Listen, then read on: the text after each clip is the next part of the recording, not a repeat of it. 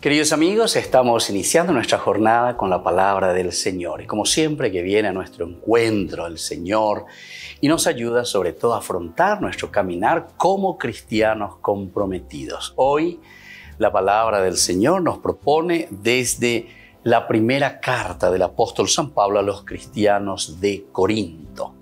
Hermanos, no puedo felicitarlos por sus reuniones que en lugar de beneficiarlos los perjudican.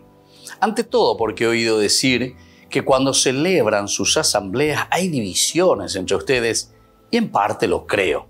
Sin embargo, es preciso que se formen partidos entre ustedes para que se ponga de manifiesto los que tienen verdadera virtud. Cuando se reúnen, lo que menos hacen es comer la cena del Señor porque apenas se sientan a la mesa, cada uno se apresura a comer su propia comida y mientras uno pasa hambre, el otro se embriaga. Bueno, y así continúa esta carta en que Pablo está preocupado y echa en cara también a la comunidad.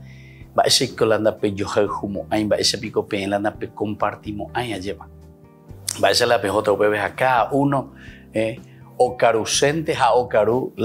a las tienen que compartir, tienen que ser capaces, sobre todo ustedes, de demostrar que la vida cristiana es una vida de comunidad.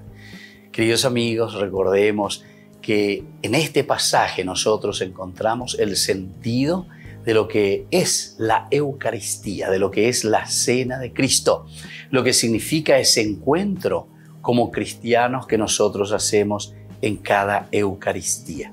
Dicatuy entonces ñandela bebé solamente para buscar y para mirar aquello que puede ser para provecho simplemente personal.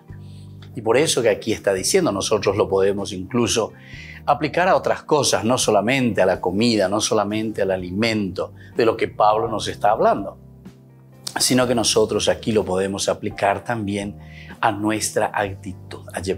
Pañan de cristiano haisha ñañemoiña de la pichacuera de nondepe ba ella pañande ñambojasape ñandepo amba ella pañande yaguapta oñondie.